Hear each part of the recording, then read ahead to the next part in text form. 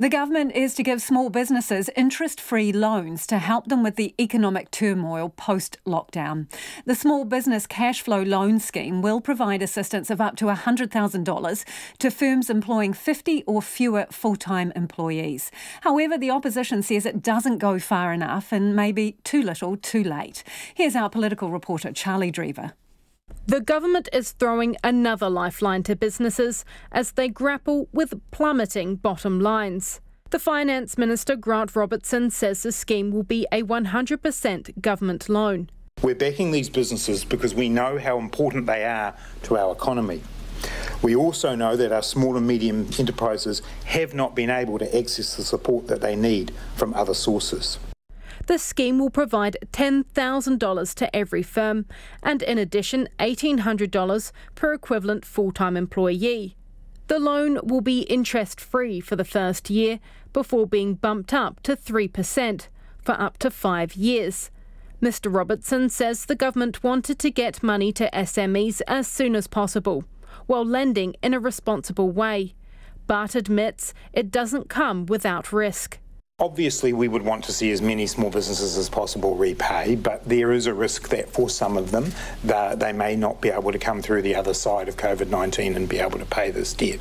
So we'll factor that in to our calculations about what it is, uh, what's the fiscal cost. Grant Robertson says businesses who apply will need to prove they are viable.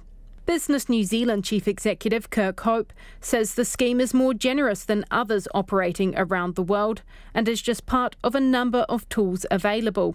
So, if you have the wage subsidy, the interest free loan scheme, the business finance guarantee scheme, and the opportunity for any bank lending, that's that's a serious uh, set of tools for for small and medium sized businesses to help them manage their cash flow. Kirk Hope says the key thing now will be for businesses to get back and operating. Managing Director of Iron Duke Partners, Phil O'Reilly, says the government has got a very difficult task ahead of them, but he thinks they've got the balance right. You can either lend some money to businesses and, and run the risk that they'll fall over and won't pay it back in some way, or the business just falls over anyway and doesn't pay tax for the next 10 years. You know, so there's a there's always going to be a balancing act.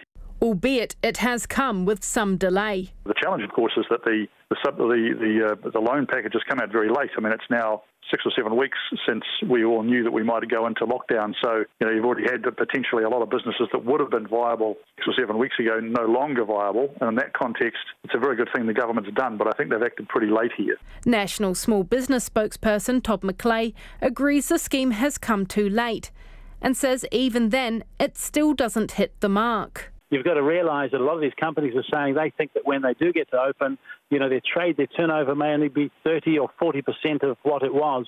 They are in financial stress at the moment.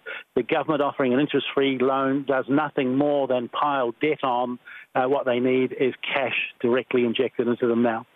Todd McClay says the government should be saying every small business in New Zealand needs to be viable and that they need targeted grants to get them through.